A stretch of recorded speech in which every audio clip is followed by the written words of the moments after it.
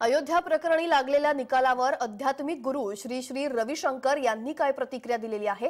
तर ते म्हणतात समाधान व्यक्त केलंय लागलेला निकाल हा आनंददायी आणि सगळ्यांना दिलासा देणारा असल्याचं ते म्हणतात ये सबके लिए सही है और सब इसको स्वागत जरूर करेंगे. ये सबके